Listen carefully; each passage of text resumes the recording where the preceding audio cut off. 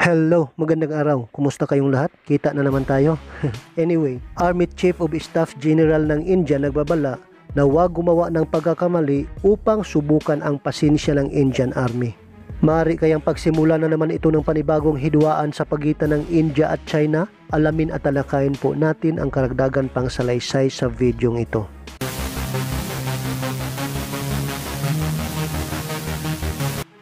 Isang nakakabigla nakakabahala at nakakatakot na pahayag ng bansang India na may kaugnayan sa ipinahayag nila noong nakaraang buwan. Ipinahayag ng bansa noong nakaraang buwan na umabot na sa pinakahuling yugto ang relasyon nila sa China at noong biyernes pa lamang may malinaw na mensahe si General M.M. Naravani sa China na walang dapat magkamali na subukan ang pasensya ng India dahil kahit nakatuon ito upang malutas ang hindi pagkakaunawaan sa mga hangganan ng bansa sa pamamagitan ng pag-uusap at pagsisikap na may kaugnayan sa politika, hindi pa rin nawawala ang kahandaang militar sa anumang banta at hamon na darating sa hinaharap.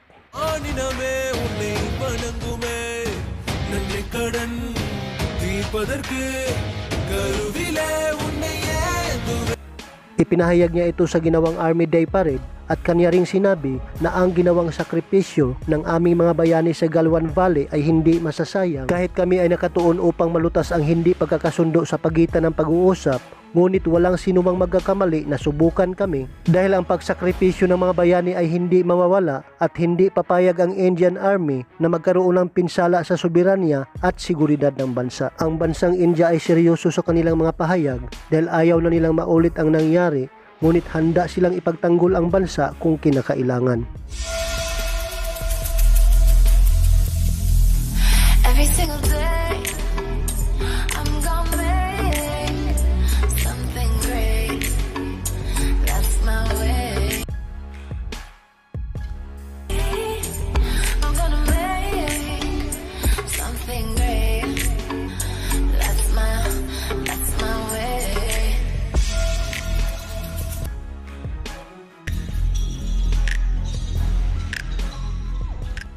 Dalawampung tauhan ng Indian Army ang nagbuwis ng buhay sa isang mabangis na hidwaan noong June 50 nakaraang taon, isang insidenteng minarkahan bilang pinakaseryosong hidwaan ng militar sa pagitan ng dalawang panig, ngunit hindi isiniwalat ng China ang bilang ng mga sundalo na nasawi sa kanilang panig. Ang ipinahayag lamang nila na mayroong opisyal na nasawi at nasugatan at ayon sa ulat ng American Intelligence na mayroong 35 nasugatan sa panig ng China.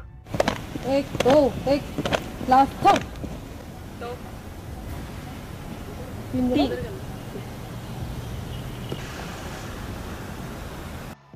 At dagdag pang pahayag ng general ng aming pagsisikap ay nagpatuloy upang makahanap ng solusyon sa kasalukuyang sitwasyon. Ngunit kahit sumang-ayon ang magkabilang panig, naalisin ang trupa at iba pang kagamitang pandigma sa line of actual control. Ngunit hindi ito tinupad ng China at marahil estratehiya lamang ito habang naghihintay sa panibagong patakaran sa paparating na US President Joe Biden ang retired Indian Navy Commodore si Uday Baskar at direktor ng think tank Society for Policy Studies sinabi sa China Morning Post na kung ang patakaran ni Biden patungo sa China ay matigas tulad sa patakaran ni Trump, matatawag itong isang malaking banta sa US kaya malamang maaring buksan ng China ang panibago na namang paghaharap sa India. Ang hidwaan sa pagitan ng China at India ay nagsimula pa noong 1962 at sinundan noong 2020. Ilang taon na ang nakalipas simula noong 1962 ngunit hindi ito nahanapan ng pamatagalang solusyon sa halip mas lalo pa itong lumala. Noong nakaraang buwan pa lamang, namataan base sa satellite image na ang China ay nagtayo ng tatlong nayon sa line of actual control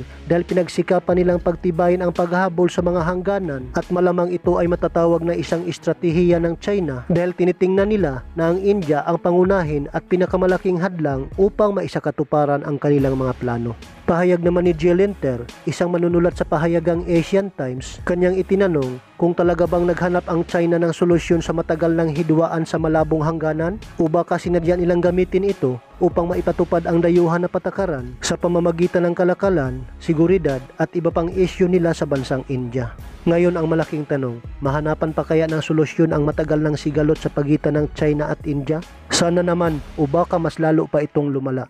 Maraming salamat po talaga sa inyong suporta at panonood and shout out to Jillian Bungkahig, Treasure Faith Bungkahig, Jefferson, Ray Doke, Johnny Ritagle, Rodi Dolyar, Romeo Belleta, Milan Manangan, Jim Paulo Garniel, watching from Marinduque Province, Karondoy TV Channel, and Mirai Proud Gut Gut Kajud Channel. God bless everyone. Mari pa po kayong manood. Salamat.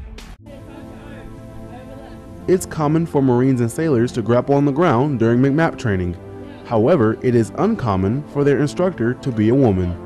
Sergeant Yulia Henley tells us what drove her to earn her martial arts instructor tab. You have to really have like a uh, a mental a sort a certain type of mental fortitude in order to be able to go into the MEI course. For example, in the MEI course I did, I was the only female, and all the dudes are like twice my size. But you have to be okay with that. You have to be okay with getting hurt and be able to take it and not break under the pressure. Teaching McMap is also her way of leading Marines and influencing their growth. You have to have not just the right mentality, but you have to want to do this. When you're teaching McMap, you're molding, in my opinion, you're molding the Marines. And you're not only teaching the physical aspect of it, but there's also the mental aspect that comes into it. You got the tie-ins and you got the whole warrior ethos that you're trying to impart to them. You're trying to teach them not just to better their fighting skills, but to better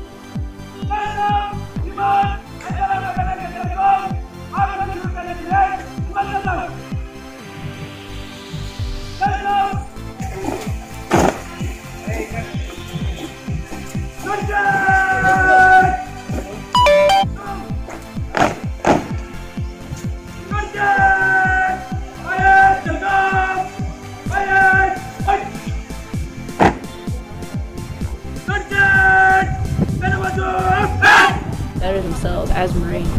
So why don't more females become instructors? It is a little bit about the amount of females that want to do it. One of the things I hate the most is when I'm teaching McMap to a Marine and they're like, well, I'm just not a very aggressive person. Why are you in the Marine Corps? You know, the Marine Corps is supposed to be the most aggressive, uh, the dirtiest, the most down into the freaking dirt um, fighting force that we have in America. If you're not a very aggressive person, why are you here? But Henley believes there is a top group of females in the Marine Corps who will do what it takes to earn their next belt and become leaders. For females, I feel it's the other way around. The 10% of the female Marines are the good to go Marines. They're the ones that are going to get out there, they're going to get the freaking gold, and they're going to get that belt, and they're going to do everything that they can to become that female staff and seal that molds the young Junior Marines. The opportunity to teach Marines is waiting for any female willing to step up. Lance Corporal Trevor Phillips, Marine Corps Air Station, Iwakuni, Japan.